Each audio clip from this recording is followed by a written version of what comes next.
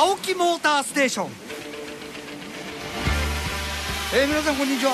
こんにちは。鈴木元 GP 開発ライダーの青木信厚です。はいナビゲーターの小島貴弘でございます。ここから青木信厚さんといろいろバイクにまつわる話であるとかモータースポーツにまつわるはい。お話をさせていただくとはい。いうことで今日2回目でございます。そうですね。ね。時間が伸びて。はい。嬉しいですえー一ね、回やった感想としてはねやっと番組っぽいなって本当ですよね。本当でもね、ノブさんとかねスタッフの人はみんな群馬の人だからいいですよ、うん。私東京から、あの2分ぐらい喋って、ええ。それ2分ぐらいに 2, 回分撮って、うん。そのまま電車で帰る 切ない日々を1年間過ごしましたから。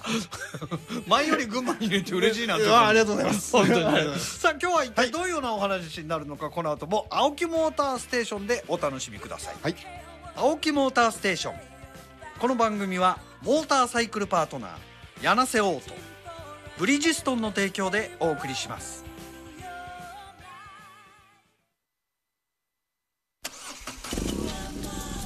BMW オートバイで走ることが自己表現。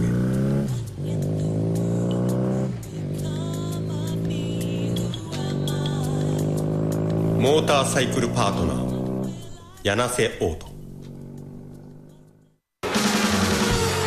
最高峰のレースで磨いた技術が二輪車用タイヤバトラックスに生きている。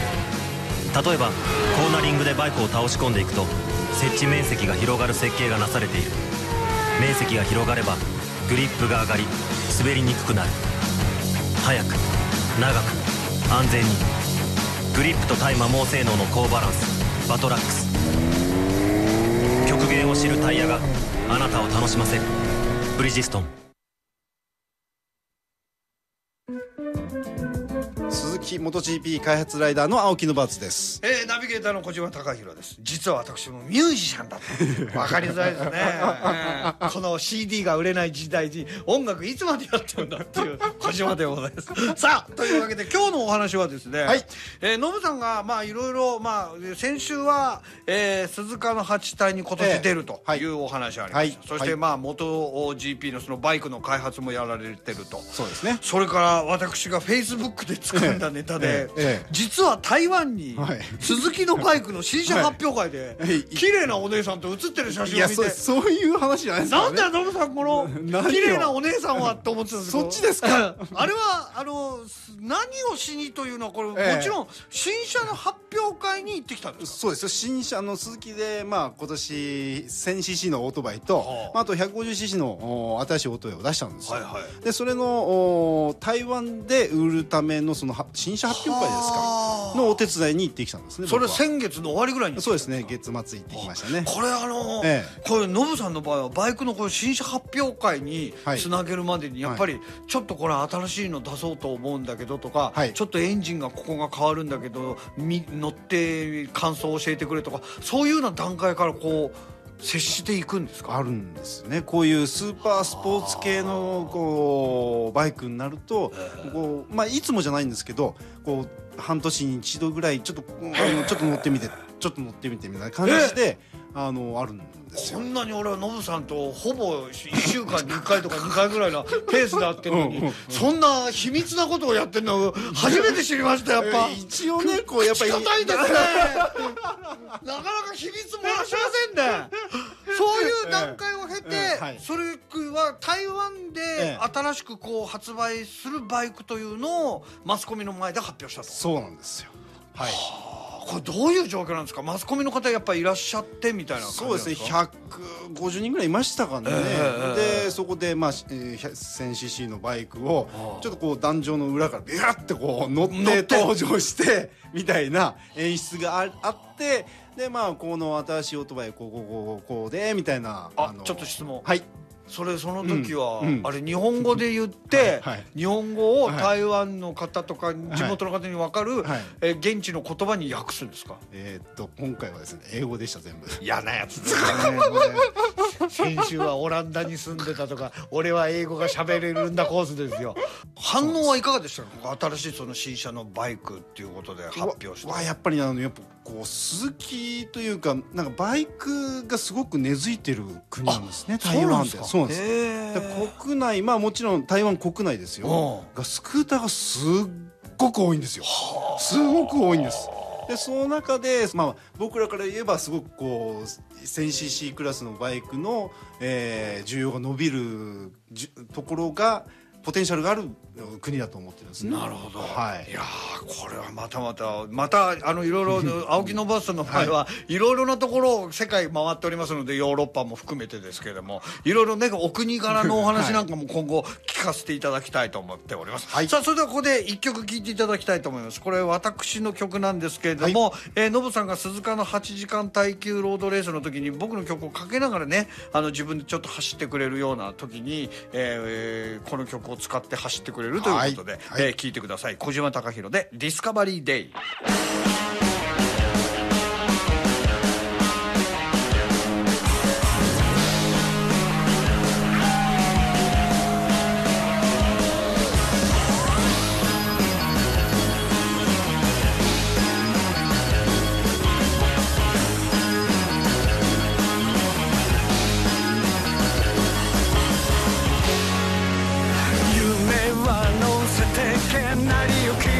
任せ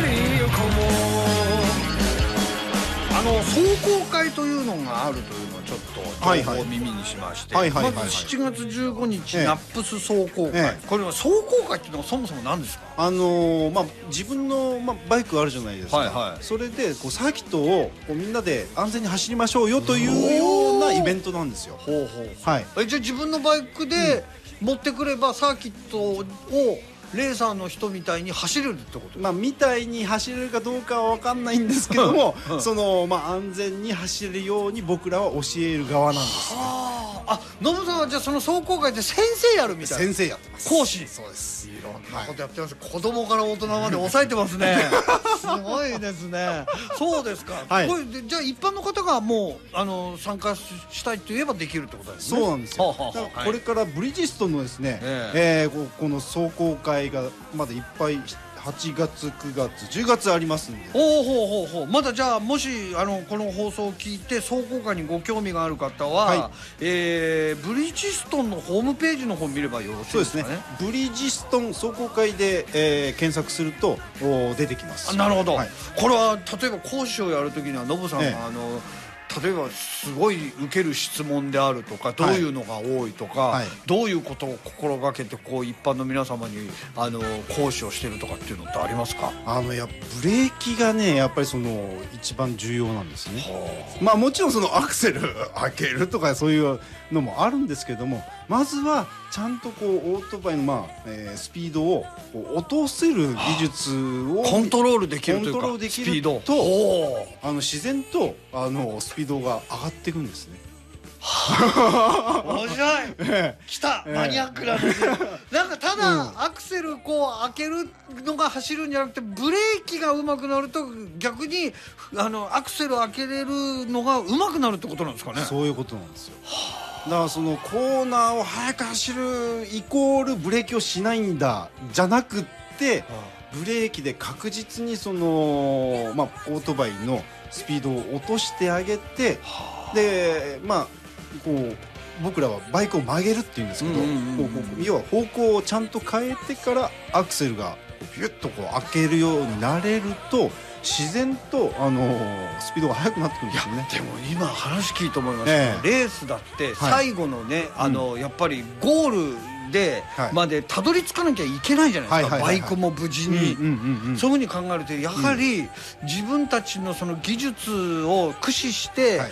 ゴールチェッカーフラッグをちゃんと受けるためにはやっぱりそのスピードをどうコントロールして、えーブレーキングもそうですけれども総合でうまくないとやっぱり勝てないってことですよね。そういうことなんですよ。レースは。そうなんです。まあこれから出て鈴鹿8体とかなんと要はそのすごい気温が上がって、はい。やっぱりこうあ路面温度60度。60度になっちゃうんで、まあ、タイヤの温度としては100度を超えるんですよ、そうなんですよ。だからそういうこう過酷なところから、あの生まれる技術っていうのはやっぱりいろんなものがあるんですねやっぱあの走行会に参加するには、はい。ええ一般の方はどういうようなタイヤを履いていったらベストとかそういうのありますか？はいあのブリヂストンから S21 っていうタイヤが出てるんですけども、はい。まあ、これはねすごいオイルオールマイティなタイヤなんですけどオールマイテオールマイティまあその走行会実はねこれこれ自分が一番こう好みで使ってるタイヤなんですけど。いいですね。そうなんですよ。本当はねこう、ええ。ツーリングとかですごくこう性能を発揮するタイヤなんですけども、はい。でもサーキットでも十分にこのグリップしてくれて、ええ。安心安心感もあるしあと、うん。雨でも十分まああのもちろん滑るとか滑るんですけどもう今までのそのタイヤの中ではもう格段にいい。いいんですね。なるほど。これやっぱりこの MotoGP ずっとその BS はあーやってきて、うん。でこの今は8体でね過酷なところでやってるじゃないですか、うん。そういうねこうテクノロジーいっぱい入ってるう S21 や。そうか。例えば一般の方なんか、うん。例えばあれですよね。普通にツーリングしてて、はい。あ雨が例えば落ちてきたとしても、はい。この S21 を履いていたら、はい。結構安心だよっていうようなところもありますね。そう今お話をす伺うとごいねこの10年で変わりましたね。はあ。この雨に対する、えー性能が、でもはい。あれですね、一つあのバイクを乗るのを安全にそれからうまあ上手くなりたいという方は、はい。ぜひこういうような走行会をチェックしていただいて、はい。参加をしてもらって、はい。なんかそこであの例えばえーノブさんから教わることであるとかっていうのをなんか普段の生活に生かしていただきたいですね。そうですね。はい。ぜひあの気になった方はですね、えーブリヂストン走行会であのヒットするそうでございますので、はい。えー見ていただいて走行会にね、えーちょっと興味を持っていただきたいなというふうに思います。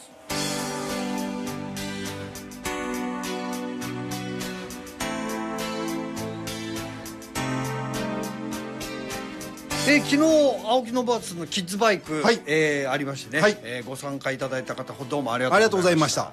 今度はいつでしょう？今度はですね7月の23日ですね、はい。えー日曜日になります、えー10時45分からの受付になりまして、はい。えー伊勢崎オートの正面ゲート前で、えー開催しておりまはい、す、詳しくはですね、青木信厚さんのホームページとご覧いただいてですね、はい。えーぜひぜひチェックをしてみてください、はい。それから番組でも、えーバイクにまつわることであるとか何かモータースポーツ質問等ありましたら、えー番組のホームページの方からメール募集しておりますので質問をお寄せください、はい。というわけで青木モーターステーションお相手は青木のバツと小島貴弘でした。それではまた来週。バイバーバイバイ。青木モーターステーション。この番組は柳瀬オートブリヂストンの提供でお送りしました。